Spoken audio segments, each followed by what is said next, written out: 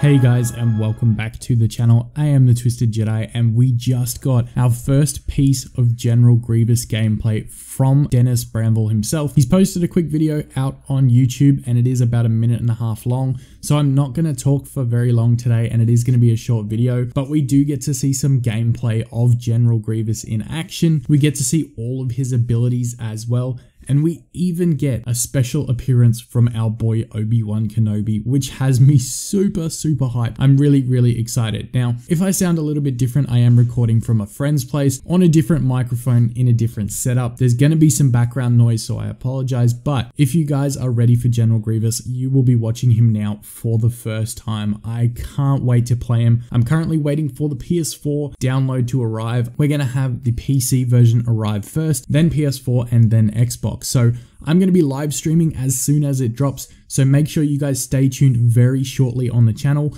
And as soon as it does go live, I will have more General Grievous gameplay with my own perspective for all of you. As always guys, thank you so much for watching. I am the Twisted Jedi and may the Force be with you always.